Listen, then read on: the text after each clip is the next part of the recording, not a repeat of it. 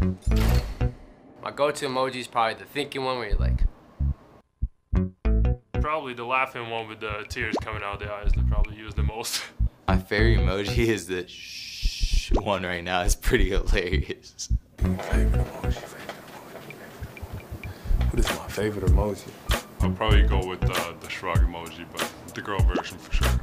Shaka's go-to emoji. This one. Mine is usually the wink with the tongue out. So that's usually, it's kind of like, oh, 100. I use it all the time. Favorite emoji would be this one.